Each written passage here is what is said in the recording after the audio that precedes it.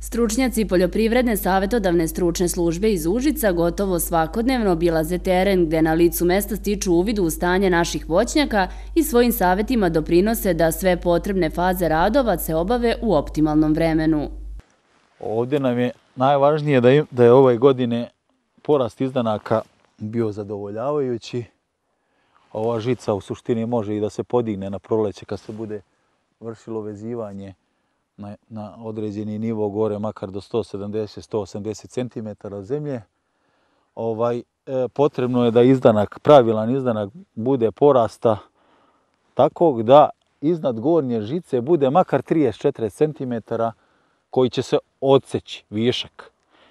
U tom slučaju svi ovi pupoljci donji, ukoliko su očuvanog zdravstvenog stanja, će dati ravnomene rodne grančice, u odnosu na situaciju, recimo ako bi ovaj vršni deo ostao gore vezan, kao kod nekih malih izdanaka kao što, što je ovaj, recimo, ovaj, ovi tanki delovi gore daju veoma kratke rodne grančice. A nama je cilj da imamo rodne grančice jednake od 30 cm od zemlje pa gore do vrha špalira sa dva pupoljka iznad gornje žice, da budu što je moguće ravnomernije dimenzije, dakle da imamo sa čela reda kada posmatramo da to gledamo kao jedan ravan zid, a ne da bude gore uže, a dole šire.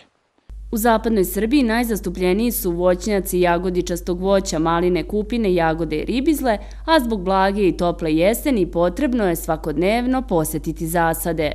Zasad je podignut na banak, sve to u cilju e, sprečavanja zabarivanja. Dakle, nama je taj problem zabarivanja postao veoma, veoma prisutan u većini zasada. Nama su zemljišta uglavnom prilično glinovita.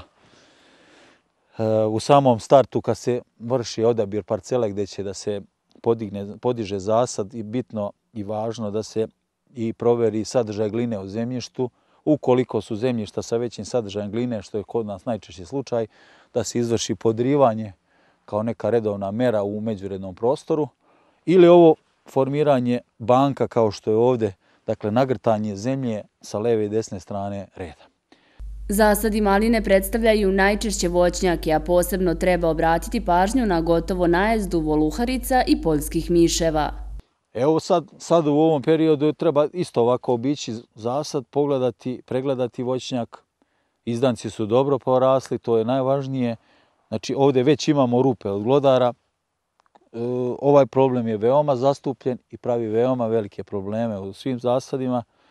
Ovaj, a ovdje koliko vidim na, na metru kvadratnom ima nekih 4-5 aktivnih rupa, što je, što je veoma velika populacija glodara da se ovako ostavi i da se ne dira ništa. Dakle, moramo da intervenišemo u tom slučaju.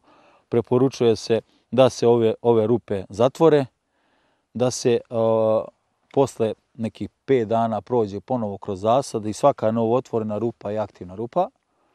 U e, njih se e, postavljaju cink fosfid mamci sa zrnom pšenice. Dakle, ukoliko je moguće po nekom suvljem vremenu da ne padne kiša isti dan ili sutra dan posle, ovaj, posle primjene toga, dovoljno je jedan dan da bude bez padavina da e, glodari pronađu taj mamak i da on da svoj rezultat. Da snima.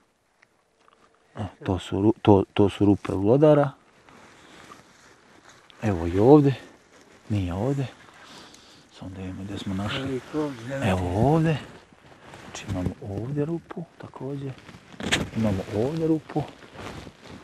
Znači to treba sve da se zatvori i posle nekih 5 dana da se prođe, da se vidi svaka rupa koja je nova otvorena, ona je aktivna. I u nju se sipaju manci za glodare.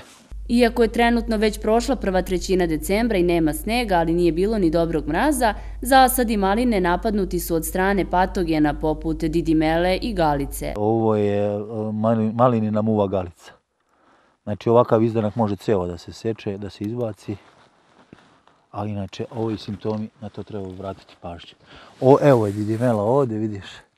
Znači u svakoj varijanti gde imamo didimela imamo lisnu dršku koja je ostala i koja nije otpala i formira se ovdje ta beličasta zona gdje, gdje je parazit egzistira i odatle posle sporuliše sljedeće godine nastavlja ciklus razvoja. svi izdanci koji imaju e, vidljive simptome didimele, koji su onako više zastupljeni, ili oštećenja od malinine muve galice bi trebalo da se uklone. Zasade voćnjaka obavezno treba obilaziti gotovo svakodnevno kako bi se primetile promene na biljkama. Pojava velikog broja glodara može dovesti do izmrzavanja korena maline koji je izuzetno nežan, pa mogu nastati i velike štete u zasadima što će uveliko smanjiti budući rod maline.